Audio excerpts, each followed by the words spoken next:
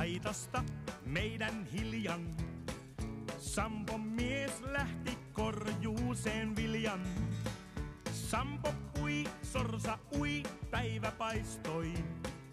Kello kahdentoista aikaan eväs maistoi. Hilja tuo evät luo vei Sampo miehen. Peräpellon reunaa pitkin kulki tiesen.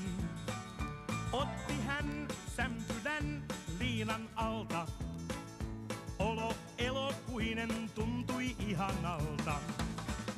Sampo mies siellä pui löysin rantein. Kumipyörät pyörii alla teräsvantein. Sampo talteen jyvät jemmaa eikä tuhlaa. Siksi